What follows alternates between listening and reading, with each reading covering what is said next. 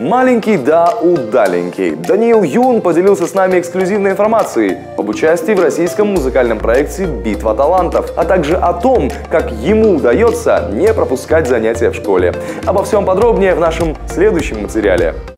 Его энергией на сцене можно зарядить целый мир, страдающий недостатком электричества. Так считают счастливчики, которым хоть раз удавалось послушать исполнение Даниила Юна. Этот экстравагантный зажигательный молодой человек между школой и вокалом заглянул к нам в студию, дабы поделиться очень интересной новостью из своей творческой жизни, связанной с проектом «Битва талантов». Я сейчас прошел в полуфинал. Это этап э, «Битва».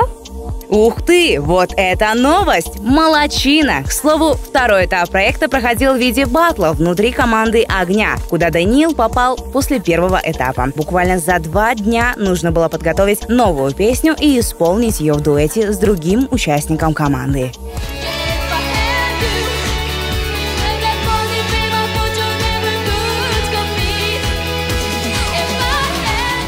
Судьи в очередной раз поразились невероятной энергетикой десятилетнего артиста. И практически без разногласий Даниил был приглашен к участию в дальнейшей борьбе за заветную победу. А вот как ему удается и в проекте преуспевать, и школу, собственно, не пропускать? Да, удается мне совмещать вокал и учебу. Ну, конечно, дается мне это все сложно, но я, я, успе- я стараюсь успевать делать и то, и то.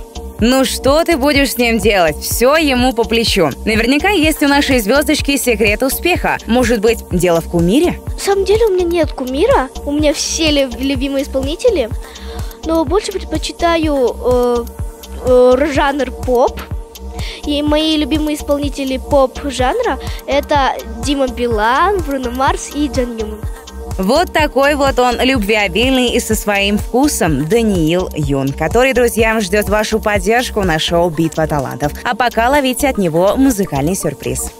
You say I'm crazy Cause you don't think I know deep down But when you call me baby I know I'm not the only Мы надеемся, что сейчас по ту сторону экрана раздаются громкие овации в адрес нашей юной звезды. Так что, Даня, мы болеем за тебя. Салтана Жаркибаева, Айбола Жикибаев, хедлайнер.